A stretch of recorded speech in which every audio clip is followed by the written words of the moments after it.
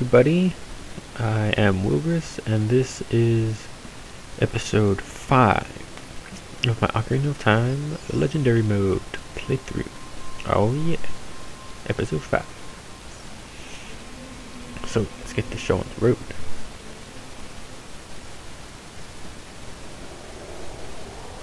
Death Mountain not looking too good.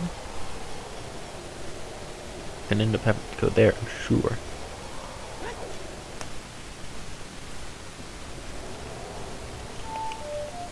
Wrong one.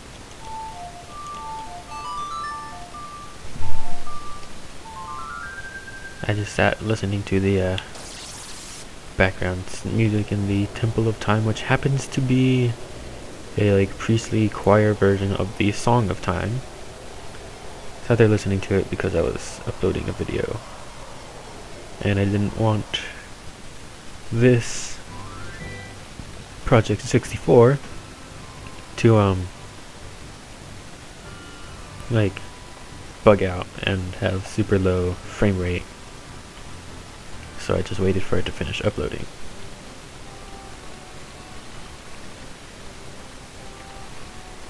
So I just sat there for like five minutes listening to the priestly choir version of the Song of Time.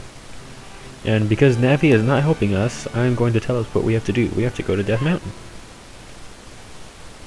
Death Mountain is next.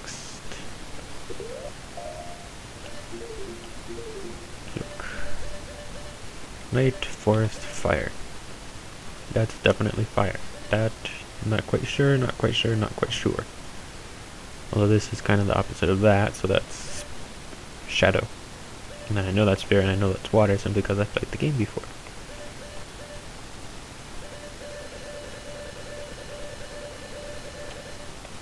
Alright, that's enough of that.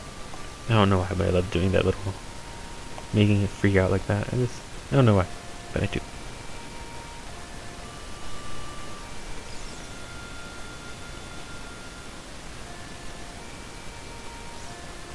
So we probably could have taken a shortcut, gone through the forest, but I don't care. This is probably just as close actually. Oh, now you're gonna tell me? That cloud over Death Mountain. There is something strange about it. Yeah, I'm already going to check it out. Can't you tell that? It's supposed to be a bright bubble of knowledge like I said last episode. Red Tektite. Dead. Oh. Really? There we go. Give me my arrows back.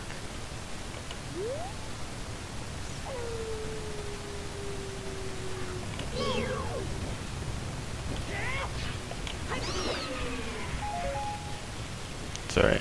As long as I don't die on the way up there, I'll be able to get my health back. I would use those stones, but that happens and I'm just not to stick around.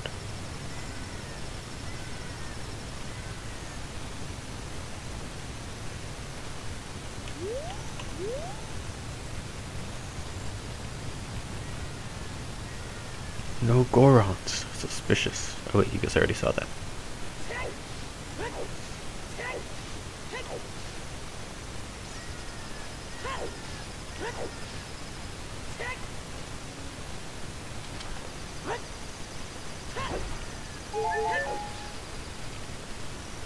Of health.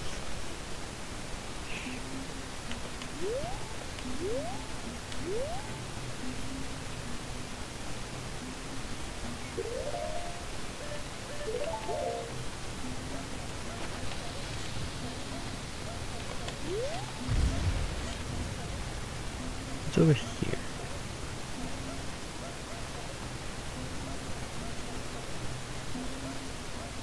Oh yeah, this room. Come back later. If we come back at all. All that's in there is a bunch of money. So they might have changed that, but I kinda doubt it.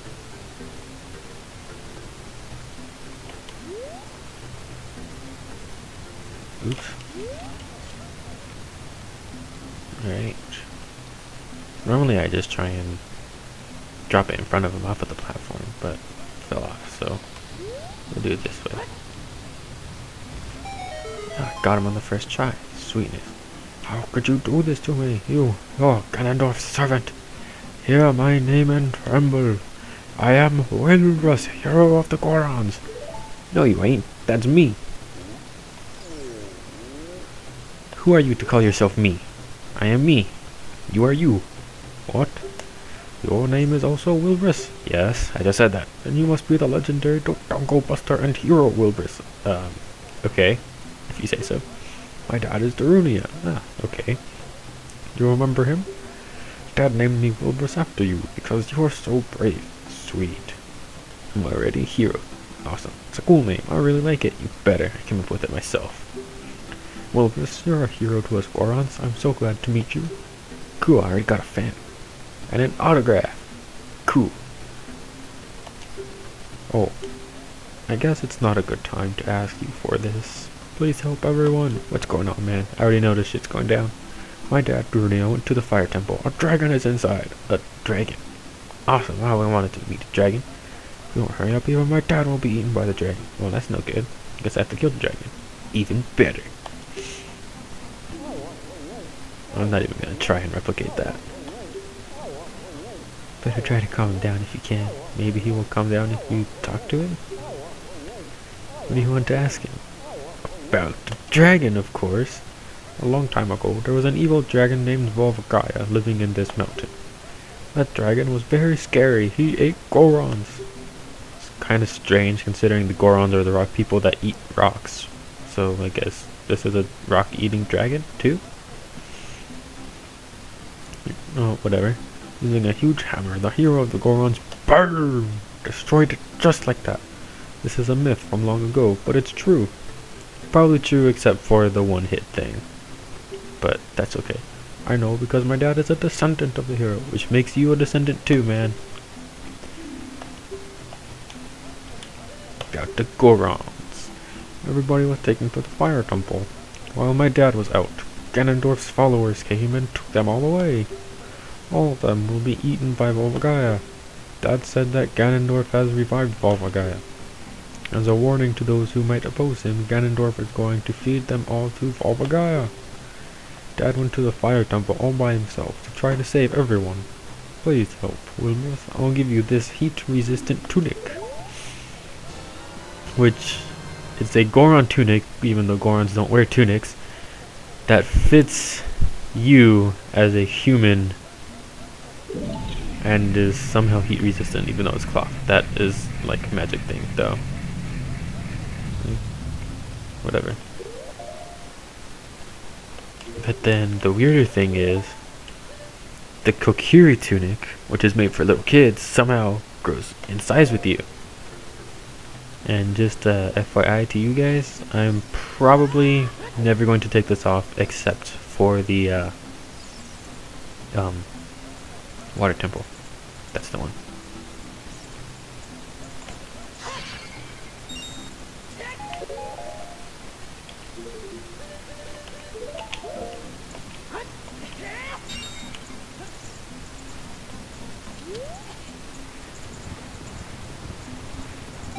Oh yeah. Just a shortcut. Otherwise we would have had to go to the top of Death Mountain. I just don't want to do that.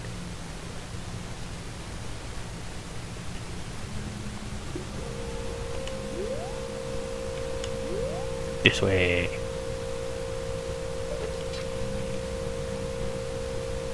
Oh, I had it. What? Come on. There we go.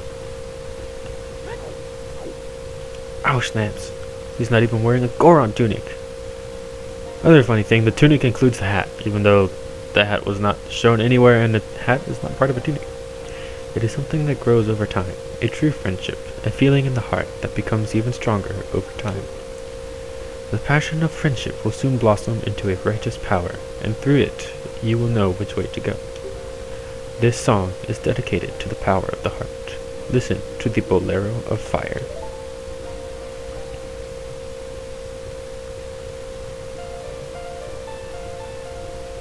This is my favorite song that you can play.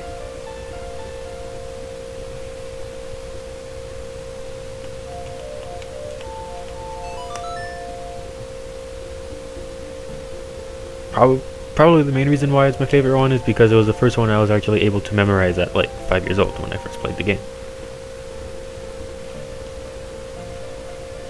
And on top of that, this is like super awesome. Ocarina is glowing again. What the fuck is up with all these freaking songs, man? Why can't I learn something normal for once? Wilbur, I'll see you again.